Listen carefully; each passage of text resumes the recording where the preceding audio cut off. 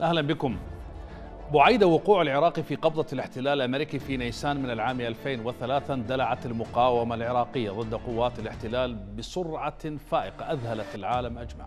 فالعراقيون أو جزء كبير منهم لم يستقبلوا الغزاة بالورود والزهور كما أخبرت الأمريكيين بذلك ما يسمى بقوى المعارضة الطائفية. وإنما حولوا رفضهم لهذا الغزو إلى رصاص وقنابل وصواريخ وضعت الاحتلال وقواته في مأزق حقيقي. ومع تواصل أعمال المقاومة العسكرية كانت قوات الاحتلال تزداد تخبطا وحيرة انعكست في إيغالها في مزيد من الجرائم والانتهاكات وتدمير المدن مدن المقاومة ومداهمات واعتقالات عشوائية للمدنيين. في هذه الأثناء شاع مصطلح المقاومة والمثلث السني وظهور المزيد من فصائل المقاومة العراقية التي ازدادت اتساعا وعنفا وعمليات عسكرية ضد قوات الاحتلال حيث حظيت هذه المقاومة الوطنية بتأييد كبير وحصانة واسعة في مدن المثلث السني معقل المقاومة العراقية المسلح الوحيد آنذاك.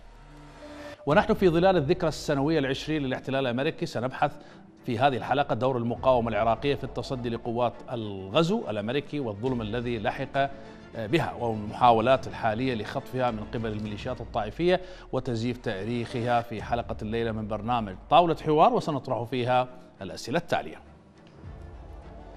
لماذا تميزت المقاومة الوطنية العراقية بسرعة انطلاق عملياتها العسكرية ضد قوات الاحتلال الأمريكي بعد 24 ساعة فقط من احتلال بغداد؟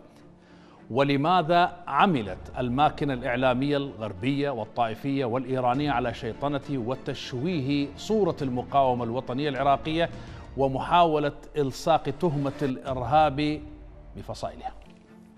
وهل تنطلي على الرأي العام العراقي والعربي المحاولات الحالية من قبل الميليشيات لسرقة إرث المقاومة العراقية أو محاولة ربطها بإيران من قبل بعض سنة العملية السياسية؟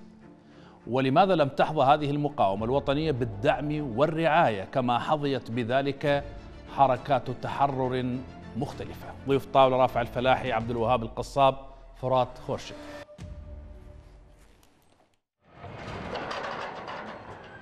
تميزت المقاومة العراقية عن جميع حركات المقاومة الأخرى بسرعة انطلاقها وتحقيقها إنجازا كبيرا وتكبيدها قوات الاحتلال الأمريكية خسائر بشرية ومادية حيث واجهت الاحتلال على أرض مفتوحة خالية من التضاريس ومن الجبال والهضاب والغابات التي تؤمن التنقل والاختفاء وتساعد حرب العصابات.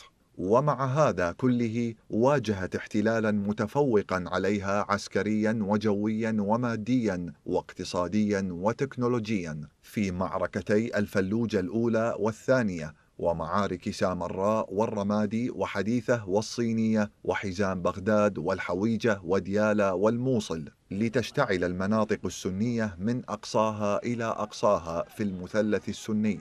وفي طريق مطار بغداد الذي سمي بطريق الموت رغم كثافة وانتشار القوات الأمريكية فيه ورغم قلة الإمكانيات وبساطتها وعدم تكافؤ موازين القوى بين الطرفين ورغم التنكيل والتشويه الإعلامي الذي تعرضت له هذه المقاومة.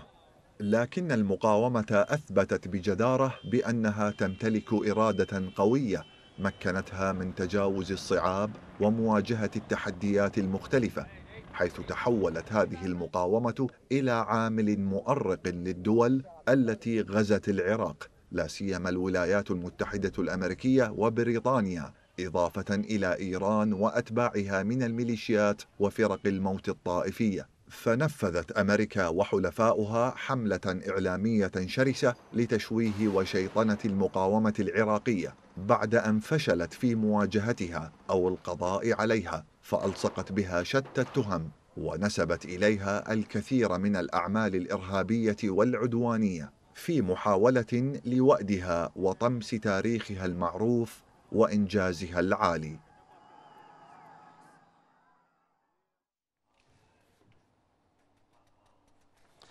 أهلا بكم مشاهدينا الكرام مرة أخرى في هذه الحلقة من طاولة حوار. ستبحث هذه الحلقة آه، في دور المقاومة الوطنية العراقية في التصدي لقوات الغزو الأمريكي والتحديات والصعاب التي واجهت هذه المقاومة ومحاولات تزييف تاريخها أو آه، آه، خطفها من قبل الميليشيات. وذلك في ظلال ونحن في ظلال الذكرى العشرين لغزو واحتلال العراق.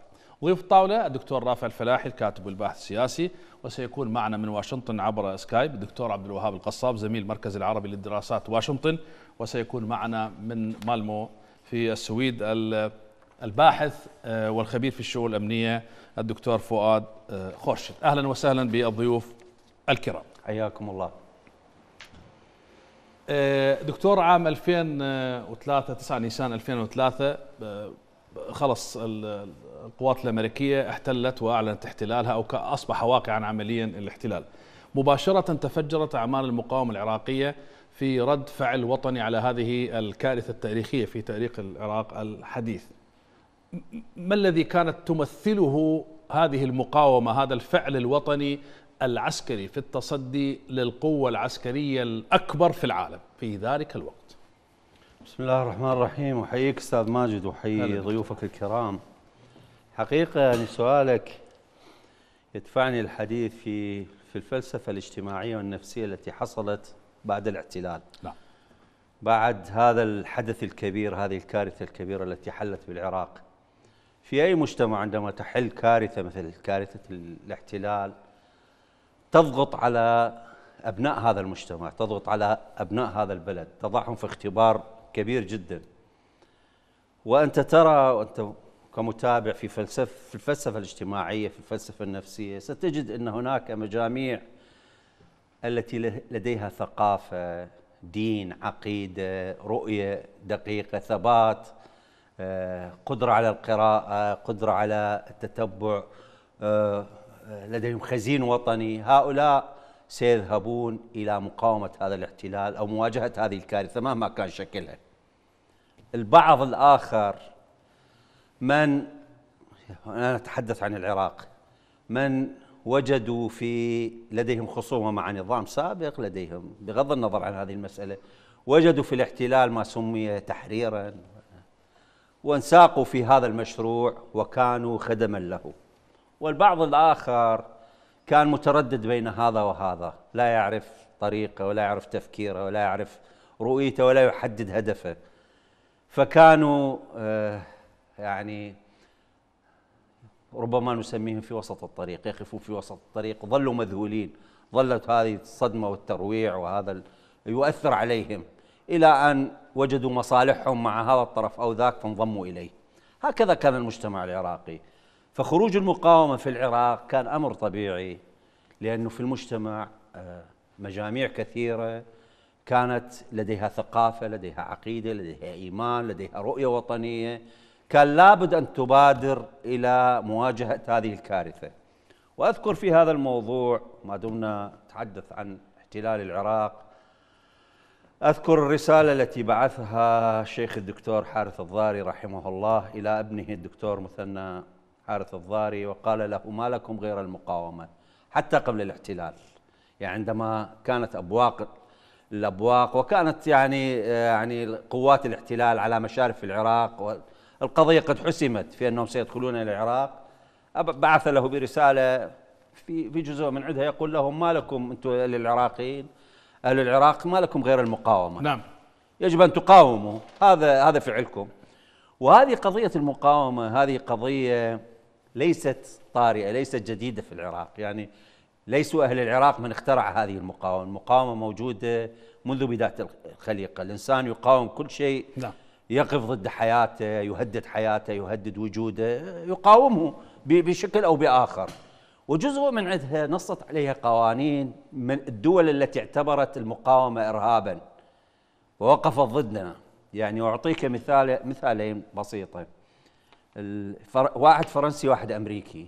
باختصار دكتور. نعم. إيه؟ في عام 1793 عندما أصدر الفرنسيون وثيقة حقوق الإنسان كان فيها يعني نص واضح جدا المقاومة آه، حق المقاومة في تحقيق حقوق الإنسان. نعم. والوثيقة الأخرى اللي هي سنة 1776 اللي هي وثيقة الاستقلال الأمريكي. نعم. وثيقة الاستقلال الأمريكي أكدت على حق المقاومة ضد الهيمنة الاستعمارية وكانت يقصدون بالهيمنة الاستعمارية الهيمنة البريطانية نعم. كانت تحتلهم. فإذا هذه الشعوب التي أو هذه الدول التي التي حاربتنا هكذا تنظر إلى ال إلى ال إلى ال إلى ال إلى المقاومة. من هنا كانت المقاومة في العراق حق مشروع وطبيعي أن تظهر المقاومة. طبيعة هذه المقاومة ممتاز على قضية تظهر المقاومة. يعني الحقيقة هناك هناك علامة فارقة أن هذه المقاومة تفجرت سريعا بعد بعد وقوع الاحتلال في قبضة الاحتلال. وسؤال آه، مع ضيفنا الدكتور عبد الوهاب القصاب. أهلا وسهلا دكتور. أهلا وسهلا مرحبا. دكتور الحقيقة المراقبون في داخل العراق في خارج العراق قد يكونوا قد توقعوا أن تكون هناك مقاومة ضد قوات الاحتلال. لكن أن هذه المقاومة مباشرة أو بعد 24 ساعة كما يقول كثير من الباحثين في مجال المقاومة اندلعت وقتل جنديان في بغداد. هذه السرعة الصاروخية المذهلة في تفجر آه، يعني المقاومة. إلى ما تعزى ما مردها؟ آه، طيب آه، السلام عليكم ورحمة الله. عليكم السلام. أولا والتحية للأخ العزيز أبو مروان والضيف من السويد. دكتور رافع والسادة المشاهدين السادة المشاهدين نعم. حقيقة يعني هو رد الفعل هو عبارة عن رد فعل طبيعي. شرت أنت له في مقدمتك. يعني أنت يعني حتى لو كان أيا كان عندما يعني يوضع في زاوية يدافع عن نفسه. وهذه هذا رد طبيعي. بعدين حب الحرية حقيقة هي حقيقة متأصلة في نفوس العراقيين.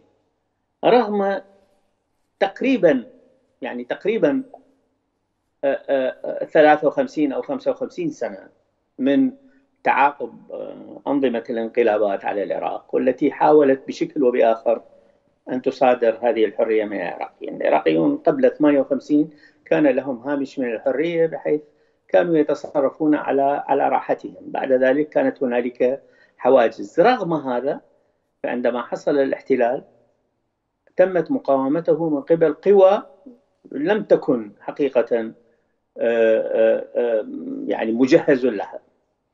آه، أنا أظن بأن المقاومة كانت ستكون أعنف لو تم اتباع سياق عسكري حقيقي يقلب مجموعة من القوات المسلحة إلى قوات مغاوير. آه، تكمن على طريق تقدم القوات. أنا كنت واثقا لو تم عمل شيء من هذا القبيل لرأيت في كل كيلومتر آه، ناقلة أو دبابة أمريكية مدمرة. منذ اللحظة الأولى التي دنست أرض العراق الشريفة بأقدام الغزاة. هذا هذا واحد. الموضوع الثاني حقيقة أن يعني قطاع من الشعب العراقي هو الذي أخذ المقاومة على على عاتقيه هنالك قطاعان آخران. قطاع كان ينتظر وقطاع آه، أجهضت أي محاولة منه لرد الفعل نتيجة آه، فتوى دينية صدرت من من بإمكانه أن يقول لهم نعم أو لا. هذه أيضا حقيقة أخرى تضاف. فإذا نحن هنا بأزاء آه، عراقيين موجودين في محافظات ستة على الأقل. كلهم كانوا مشاريع آه، مقاومة واستشهاد المثلث السني المثلث السني. يعني أنا هو ليس مثلث هو مثلث سني حاولوا أن أن أن يصفوا قطاع معين جنوب بغداد بأنه المثلث السني. هو في حقيقة الحال قطاع يبدأ من حوالي 70 كيلومتر جنوب بغداد ويتحرك شمالا إلى آه، يعني الحدود الإدارية للإقليم. والحدود التركية إذا ما كنت أتحدث عن محافظة نينوى. اذا هذا ليس ليس مثلثا هذا هو ثلثاء مساحة العراق. نعم. هذه حقيقة يعني. يسكنه ثلث أو أكثر من سكان العراق. هذه أيضا حقيقة علينا أن نأخذها بنظر الاعتبار. هنا كانت المقاومة حقيقية. هنا كانت المقاومة واضحة. هنا كانت المقاومة صدمة بالنسبة للأمريكيين عندما خططوا وعندما أكد لهم ذيولهم الذين آه، تحولوا إلى ذيول لإيران فيما بعد أن أنهم سيستقبلونهم بلحظات وهذا ما رأوه عندما يعني قطعوا حوالي 500 كيلو متر لكي يصلوا إلى بغداد. يعني لم تكن هنالك مقاومة حقيقية. أنا قلت لو كان هنالك تخطيطا استراتيجيا عقلانيا يأخذ الأمور بأبعادها لكان حصل شيء آخر غير الذي حصل.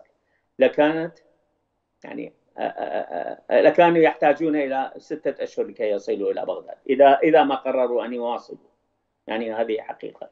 هذه المنطقة معروفة تاريخيا. يعني يعني خذ خذ موضوع الاحتلال البريطاني دكتور هذا الكلام تتحدث عنه أنت تتحدث عن حقبة ما قبل 2003 عندما كانت الدولة العراقية قائمة تقصد هنا. عملية التقسيم يعني عملية الإعداد إعداد مسرح العمليات. نعم.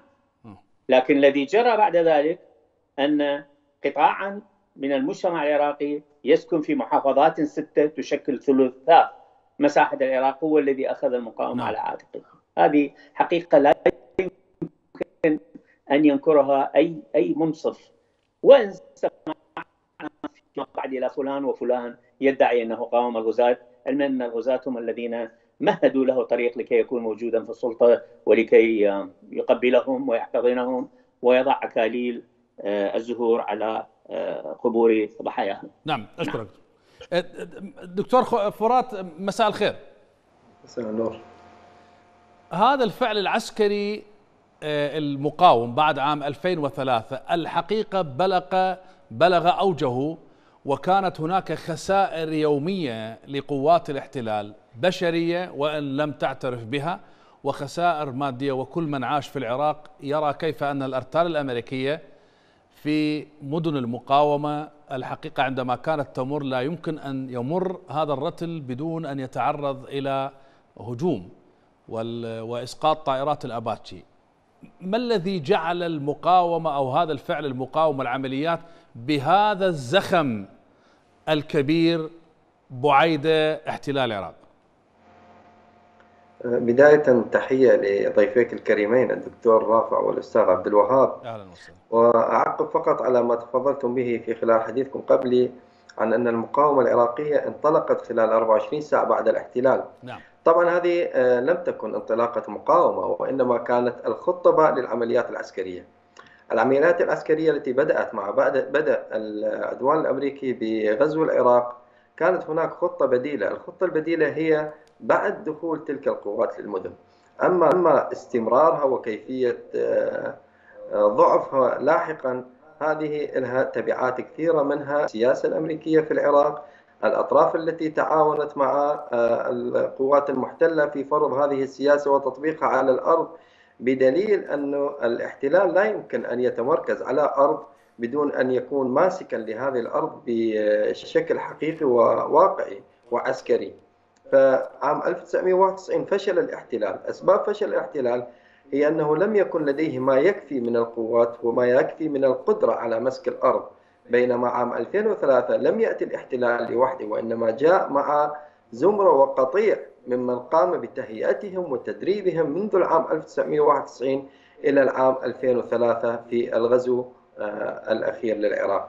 هذه نقطة. أما النقطة الثانية لماذا كانت وكيف أصبحت المقاومة العراقية بهذا الشكل؟ أن المقاومة كانت محصورة في طرف معين لكون الطرف الآخر أو الطرفين الآخرين كانوا مشغولين بالاستحواذ على السلطة مشغولين بالجلوس مع المحتل لتشكيل ما يسمونه بحكومة. وكتابة دستور يوافق متطلباته ومصلحة المحتل.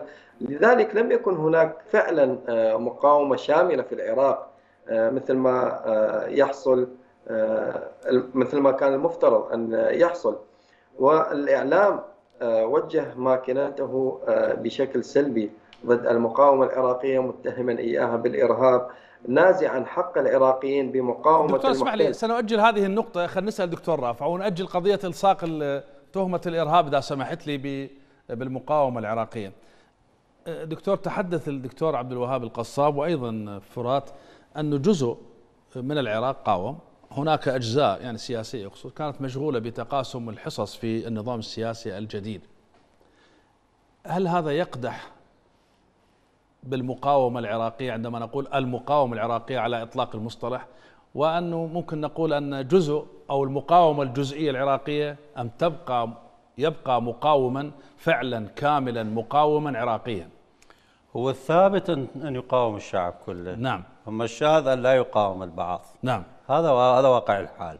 أما أن يكون جزء لم يقاوم لأسباب لفتوى لرؤيته لتكيفه ما هو هذه اضطرابات التكيف والتأقلم هذه قضية يعني غريبة عجيبة. مع وجود ضغوطات مع وجود حدث كبير مع وجود كارثة كبيرة ستجد أنه مجاميع معينة تتصرف بتصرف معين ومجاميع تتصرف بتصرف الحقيقي والطبيعي.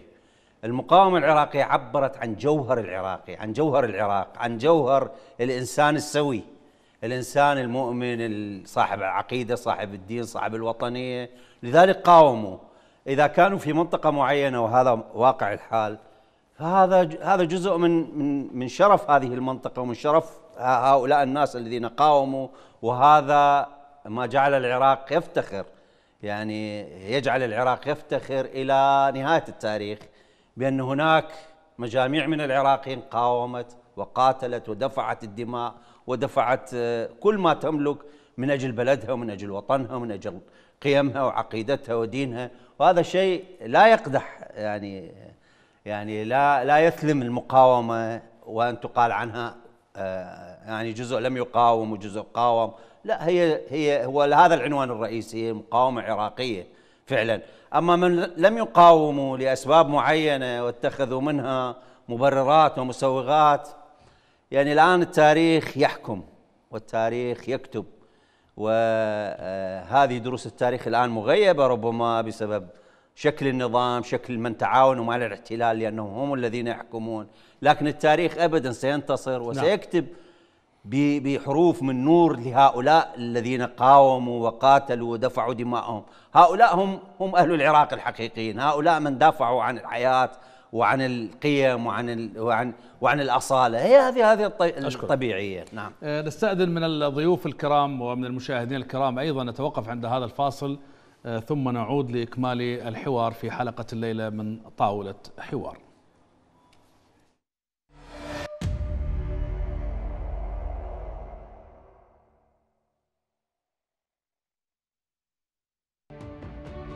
بلا جدران تقيهم حر الصيف وبرد الشتاء. أخرجوا من ديارهم. غائبون لا صوت لهم.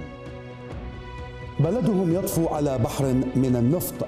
تصارع أكفهم قسوة الحياة. هدموا كل ما هو جميل وأساءوا لحاضرة الدنيا حتى استغاث منهم تراب الرافدين. لكن أحفاد ثورة العشرين سيكسرون القيد. ويبذلون المهاجات ويعيدون الحياة. لن تكتم الأفواه ولن تحبس الألسن فنحن صوتكم.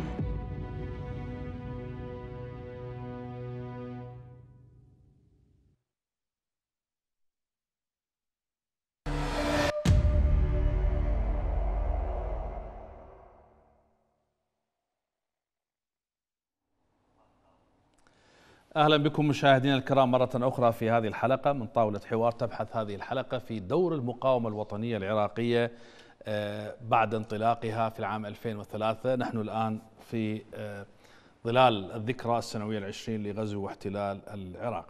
ضيف طاولة رافع الفلاحي عبد الوهاب القصاب وفرات خورشيد. دكتور عبد الوهاب آه، الذين لم يذهبوا باتجاه المقاومة العسكرية ضد قوات الاحتلال كانت حجتهم أن الظرف العراقي في الداخل الظرف الإقليمي الظرف الدولي هيمنة قطب واحد الولايات المتحدة الأمريكية غير مؤاتية غير مناسبة بيئة غير مناسبة للمقاومة ودعم المقاومة كما كان الحال أيام القطبين آه، قبل عام 1991 كانت حركات تحرر تحظى بدعم ومساندة من من قبل الناس تعتقد حجة مقبولة ومتفهمة؟ بالتأكيد بالتأكيد لا هو حقيقة هذه بالمناسبة يعني هذه المقولة تنطبق على قطاع محدد من الإقليم. الإقليم أنت عارف أنه كان هنالك قطاعان متقاتلان. قطاع كان مع الغزو كان من عرابي الغزو.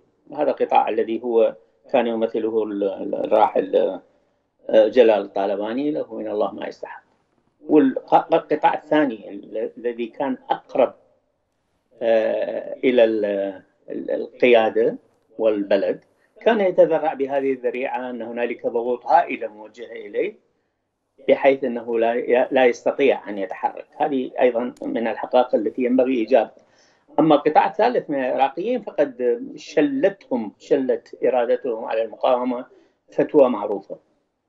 ولسوء الحظ يعني يعني كانت هذه الفتوى سلبية جدا. الآن يحاولون أن يتنصلون منها لكن هي موجودة وفتوى هي الحقيقة التي شلت إرادة جزء كبير من العراقيين. المعروف عن العراقيين أنا لم يعني أحاول أن أكمل ما ما قلته سابقا وهو السلوك الذي سلكه العراقيون آه، في مجابهة الاحتلال البريطاني 1914 يعني هؤلاء وصلوا إلى إلى بغداد في في آه، إلى ضواحي بغداد إلى سلمى بارك في عام 1916 وهبت عليهم جهنم من من كل دائرة يعني الجيش العثماني والمعروف عن الجندي العثماني إنه كان شوية نخوض أو, أو أعطيني دقيقتين أعطيني دقيقتين. أعطيك دقيقتين. خليني أكمل لك. أعطيني دقيقتين. حاضر حاضر تفضل. لا ما راح أطول. ماشي. مداسه كان عندي سؤال آخر. الذي جرى ان أن هذه القوات التي كانت مدججة بكل أنواع الأسلحة أعيدت إلى الكوت يعني مسافة 140 كيلومتر وحصرت بالكوت وأجبرت على أن تلقي سلاحها في الكوت وأن تؤخذ هذه الحامية الكبرى مشيا على الأرجل من الكوت إلى إسطنبول.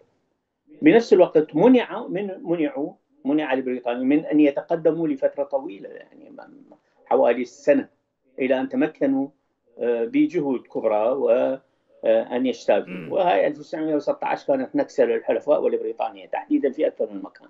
أنا يعني أردت فقط أن أجلب هذه الحقيقة بأن المقاومة في نفس العراق كانت موجودة مهما كانت الظروف. لم يكن كل العراقيين آه، آه، آه، راضين عن عن عن نمط الحكم الذي كان يحكمهم لكنهم انضموا وقاتلوا بضمنهم يعني الثلث الذي نتحدث عنه الذي لم يقاتل في هذه الحقبة. نعم.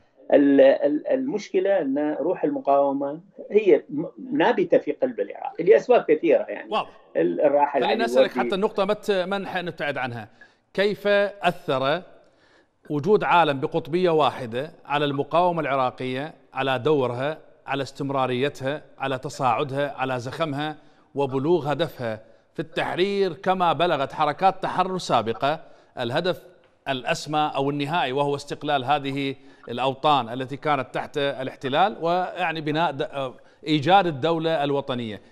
كيف أثر هذا الوضع الدولي الشاذ بهيمنة أمريكا على المقاومة وأنها لم تستطع يعني لأنها لم تحظى بداعم مؤازر دولي ولذلك لم تستطع أن تصل تصل إلى هدفها.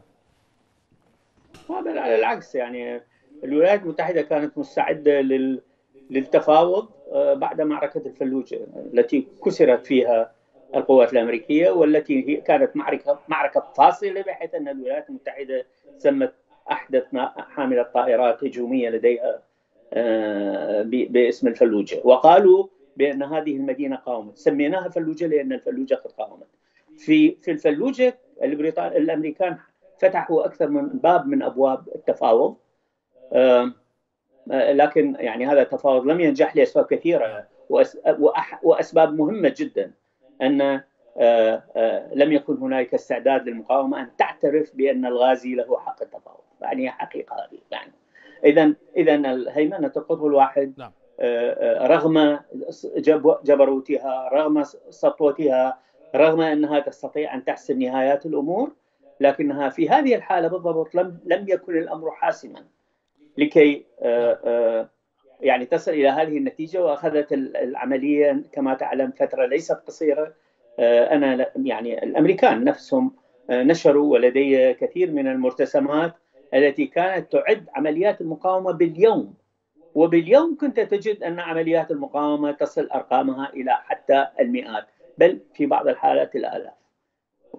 هذا موجود موجود على نعم. هنالك كتاب ضخم يعني بس اسمح لي أنور الساده كتاب ضخم جدا صدر عن البنتاغون.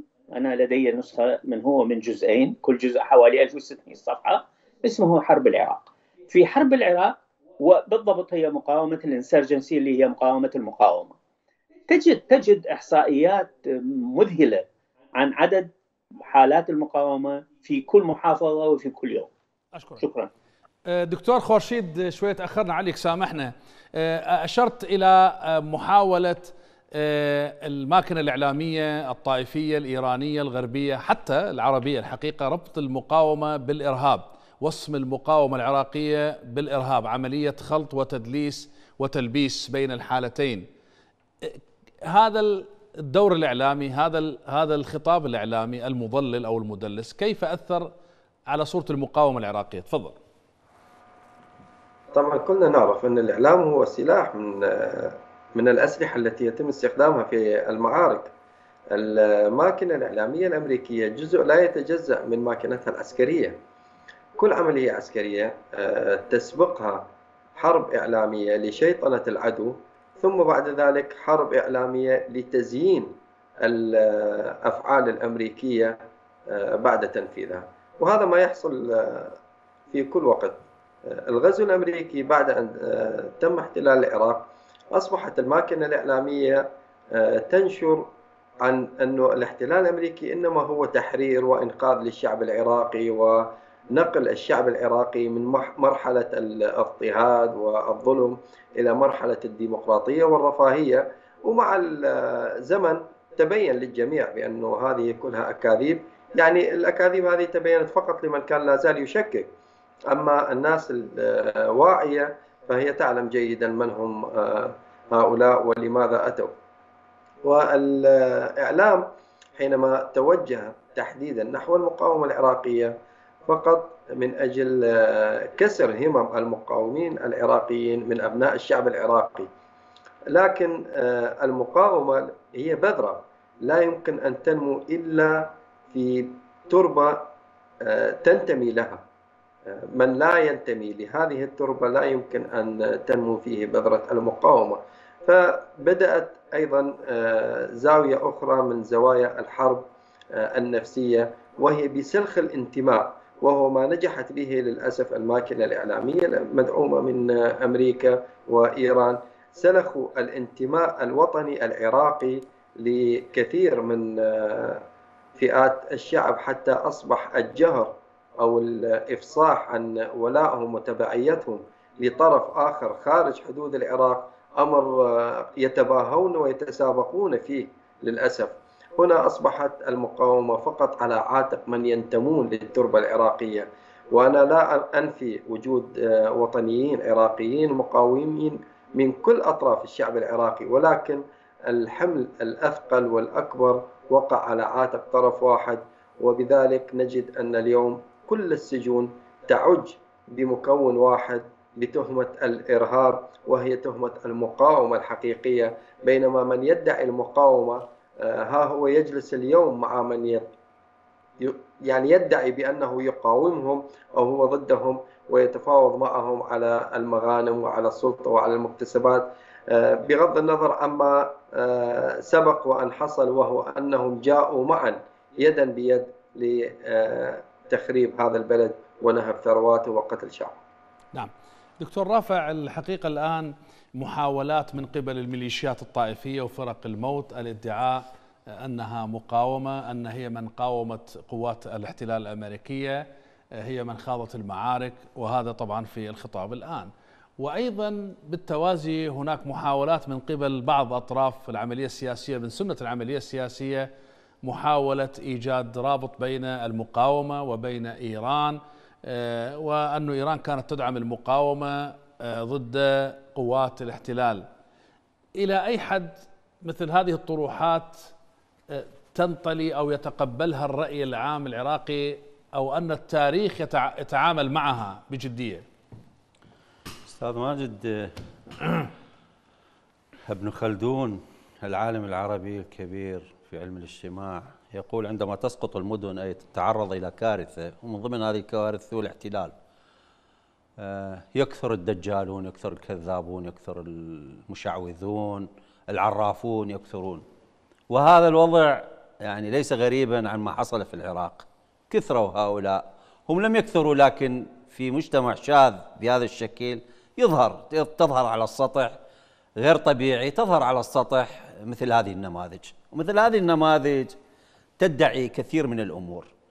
ودعني أقول لك قبل أن أتحدث عنهم دعني أقول لك البعض منهم البعض من هؤلاء قياساتهم في التعامل مع الحدث أرادوا أن يقنعون الناس بأن القياسات غير بقياسات غير حقيقية، البعض يعني هذا تغيير كانوا يتحدثون إنه هذا تغيير حصل في العراق وهذا التغيير مثله شاهدنا كثيرا. كيف شاهدتم كثيرا؟ يتحدثون عن ثورة 58 تغيير أيضا. وبال 68 أيضا تغيير وبال 64 كان أكو تغيير. وفي مصر عام 1952 صار تغيير وثورة 1917 في الاتحاد السوفيتي صار تغيير وهكذا يتحدثون الثورة الفرنسية. كل هذه النماذج هذه القياسات غير حقيقية. نحن تعرضنا في العراق إلى احتلال والاحتلال تغيير قسري غير شكل. لا تنطبق عليه هذه القياسات. نعم.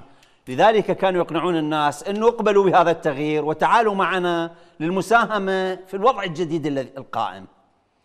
وإذا بهم هؤلاء يدعون لأنهم يعني وأنا قلت يعني في, في الأوقات الشاذة مثل ما قال ابن خلدون يكثر هؤلاء من يكذب من من يدعي من من يشعوذ.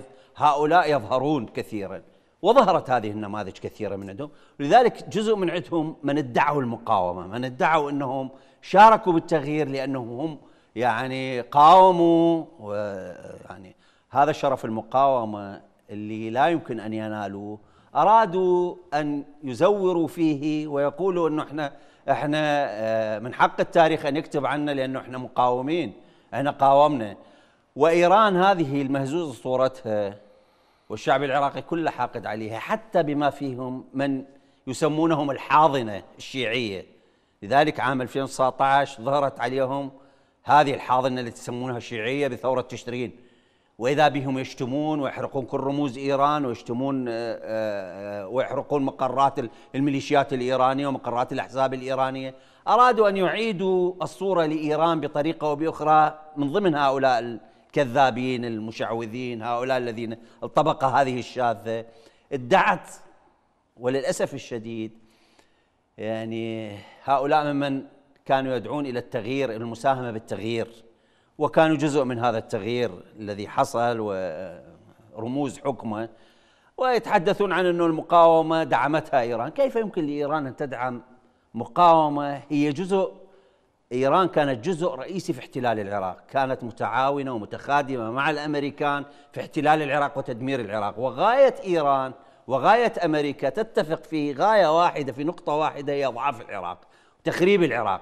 فالكل متفق على هذه. كيف يمكن لإيران هذه التي دمرت العراق بهذه الطريقة وبهذه الميليشيات وبهذا القتل وبهذا الترويع ومزقت المجتمع وشاعت الطائفية وشاعت الميليشيات كيف يمكن لها أن تدعم مقاومة شريفة تريد العراق أن يعود قويا وقادرا على الوقوف على قدميه ويطرد المحتل ويعيد العراق إلى وجه الحقيقي؟ القضية لا يمكن أن يعني لا يمكن أن تأتي على سطح واحد لا يمكن. فلذلك هذا الكذب هذا الادعاء من البعض على أنهم كانوا مقاومين مثل قيس الخزعلي مثل المشهداني الذي يدعي انه انه المقاومة كانت تعطيهم أموال و للمقاومة إيران كانت تعطي كذبة كبيرة. البعض يدعي هؤلاء جزء من الكذابين يدعي إنه مقاوم يدعي لأجل مكاسب مادية لأجل مكاسب معنوية لأجل أن يجد له حظوة. عند من يحكمون ومن من يدعي انهم إنهم رموز للتغيير لكي يكون معهم.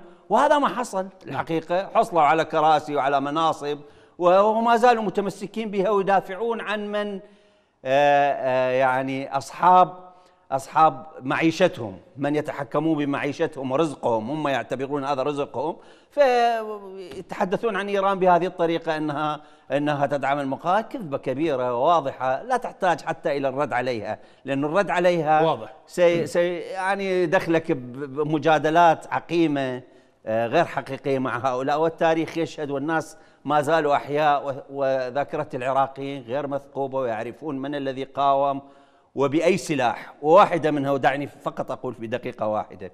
عندما كنت تسأل الأستاذ الدكتور عبد الوهاب عن عن قضية القطب الواحد والعراق تعرض إلى احتلال في وقت شاذ حقيقة نعم. زمن شاذ.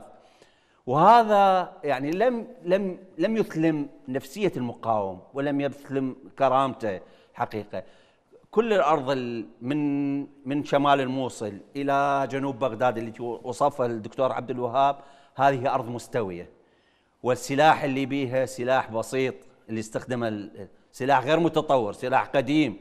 لكن الأرض قاتلت مع أهلها قالت قاتلت مع الناس الذين يريدون أن يقاتلوا عقيدتهم ونفسهم وثقافتهم. هي ثقافة المقاومة. نعم. دكتور عبد الوهاب ما هي أبرز المشاكل أو التحديات أو الصعاب التي واجهت المقاومة العراقية آه، بعد عام 2003 مشاكل عسكرية ومشاكل سياسية. نعم. نعم. آه، جزئية بسيطة بس يعني من كلمتين أكمل اللي تفضل به أخوي وعزيزي آه، الموضوع إنه شوف إذا كانت هنالك عمليات ضد ضد قوات الغزو من قبل المتمشدقين حاليا فهي عمليات تعد على أصابع اليد الواحدة كان هدفها تنفيذ مخطط إيراني لكي تجعل الأمريكان يتفاهمون مع الأمريكان مع آه، يعني مع الإيرانيين.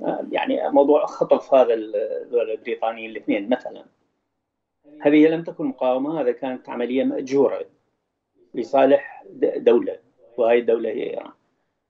وإيران لم تكن آه، لتغذي المقاومة لسبب بسيط جدا أن إيران كانت مرعوبة من أنها وسوريا كانوا موجودين يعني الإنذار وصل إليهم وكانت تريد أن آه، تبيض صفحتها مع المحتل الأمريكي وتتعاون معه إلى أبعد الحدود. وهذا ينفي أي إمكانية أو قدرة لكي آه، تقوم آه، بإسناد المقاومة الحقيقية العراقية الشريفة. قد يسندون غيرهم لكن ليس المقاومة. الآن الموضوع الذي تفضلت بالسؤال عليه. حقيقة الإجابة على على على هذا السؤال آه، هي يعني إجابة واضحة. أن أن المقاومة نشأت من الأرض وبالسلاح المتيسر.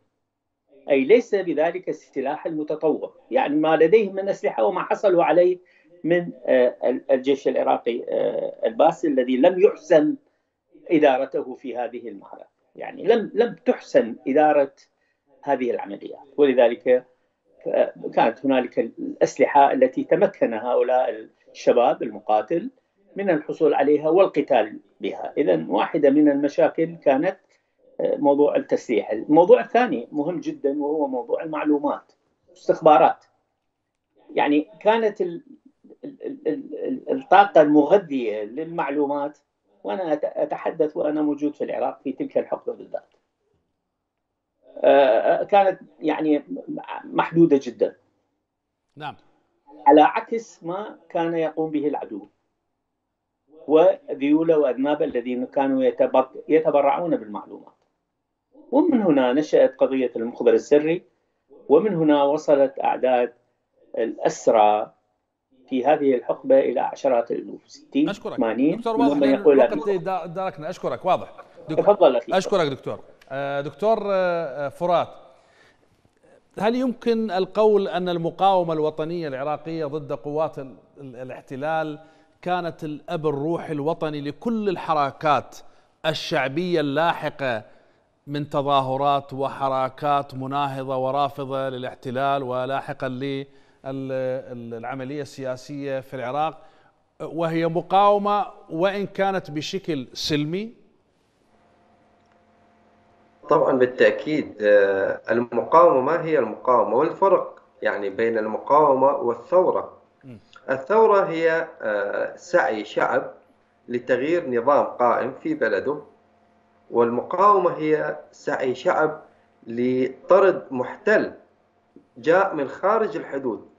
حتى الثورة حتى ثوار تشرين أنا أعتبرهم مقاومين وليسوا آه، مجرد ثوار عاديين لأنهم لم يثوروا ضد حكومة عراقية لم يثوروا ضد حكومة وطنية وإنما ثاروا ضد من جاءوا من خارج الحدود. كل من يأتي من خارج حدود البلد هو محتل وكل عمل ضد المحتل هو مقاومة. إذا يجب أن نعرف بأن مصطلح المقاومة ينطبق تحديدا على ما يحصل في العراق وعلى كل طرف عراقي يسعى لإزالة هذه الحكومة القادمة من خارج الحدود والمؤتمرة بأوامر من خارج الحدود. هذه نقطة. النقطة الأخرى آه، ما يقوم به الشعب العراقي. ماذا يريد؟ هو فقط يريد أن يتم آه، حكم الشعب العراقي بإرادة وطنية. بإرادة الشعب بما يرغب به الشعب العراقي وليس ما ترغب به إيران أو ما يضمن مصالح أمريكا أو ما يحقق منافع لهذه الدولة أو تلك. إذا هي مقاومة. الثوار وما يقومون به مقاومون الشعب العراقي خلال رفضه للتوجه للانتخابات هو مقاومة. الشعب العراقي خلال اعتصاماته هي مقاومة. الشعب العراقي خلال وقوفه أمام المنظمات الدولية ما يقوم به المغتربين العراقيين الوقوف أمام السفارات والممثليات الدولية لإبداء آه، آرائهم و آه، يعني آه، الإعلان عن مواقف الشعب العراقي الرافضة لكل ما يحصل في العراق اليوم هي مقاومة. المقاومة لا تكون فقط بالسلاح ولكن لا يمكن أن نسميها بتسمية غير المقاومة. نعم. دكتور رافع يعني الآن المقاومة العسكرية قد انتهت في العراق. تطرق طبعا دكتور فرات إلى أشكال أخرى من من من من المقاومة. فقط المقاومة هي في الفعل العسكري أم هناك فعلا أشكال أخرى ثقافية إعلامية حراك شعبي يندرج تحت توصيف مقاومة؟ من ثورة تشرين مثلا. هي المقاومة يعني تعبير واسع جدا جدا. وما زالت هناك مقاومة في العراق مستمرة تعتقد نعم لحد نعم نعم. السلاح نعم جزء من المقاومة إبداء الرأي مثل ما تحدث ضيفك الكريم إبداء الرأي التظاهرات الوقوف ضد هذا الاعتراض على كل هذا هذا كله جزء من المقاومة الحقيقة جزء من مقاومة العراقيين. ودعني أقول لك وربما واحدة من مميزات هذه المقاومة العراقية المميزات النادرة في كل مقاومة سواء السلمية أو سواء بالسلاح أنها لم تكن مدعومة من أي طرف خارجي. آه، هي مقاومة عراقية صرفة بغض النظر عن الحديث يعني المقاومة بالسلاح لم يدعمها أي طرف لا عربي ولا إقليمي ولا دولي أبدا. وهذه أول مقاومة بالدنيا لا تدعم من الخارج. يعني كل المقاومات تأخذ المقاومة الفيتنامية كانت كان الاتحاد السوفيتي يدعمهم كانت الصين تدعمهم. أخذ ال حتى الجزائرية. حتى الجزائرية فرنسا كانت مدعومة من دول عربية ومن كثير من من ال من ال من الدول. إلا المقاومة العراقية. حتى المقاومة الفلسطينية كانت مدعومة من إلا المقاومة العراقية الوحيدة التي لم تدعم من أي طرف. مقاومة عراقية صرفة. وما زالت حتى المقاومة السلمية لا تدعم. دعك من الحديث هذا الكاذب أولاد السفارات سفارات تدعمهم ما أعرف منه كذبة كبيرة. بل دكتور هناك قبولها. من الباحثين يتحدث إنه هاي المقاومة حوربت ليس فقط لم تدعم. نعم حوربت بشكل كبير داخليا واقليميا ودوليا حوربت بشكل لأنها لذلك حتى هذه هذه عبارة الإرهاب هذه مفردة الإرهاب طبقت عليهم أربعة أرهاب وما أعرف غيرها. هاي طبقت على فقط على المقاومين. لذلك ضيفك الكريم عندما تحدث أن السجون مملوءة بعشرات الآلاف من المقاومين نعم بتهمة الإرهاب. هذا الإرهاب يعني وجدوه كمعادل نوعي للمقاومة لكي يوسموا المقاومة بالإرهاب لكي يقتلوها ويقفوا ضدها هذا واقع الحال. نعم. شكرا في ختام هذه الحلقة من طاولة حوار. لم يتبقى إلا أن نشكر ضيوفها وهم كل من الدكتور رافع الفلاحي الكاتب والباحث السياسي كان معنا هنا في الاستوديو وكان معنا عبر سكايب من واشنطن الدكتور عبد الوهاب القصاب زميل المركز العربي للدراسات واشنطن. وكان معنا أيضا الباحث والخبير في الشؤون الأمنية الدكتور فرات خورشيد من مدينة مالمو في السويد عبر سكايب. إلى أن نلتقي في الأسبوع القادم في أمان الله.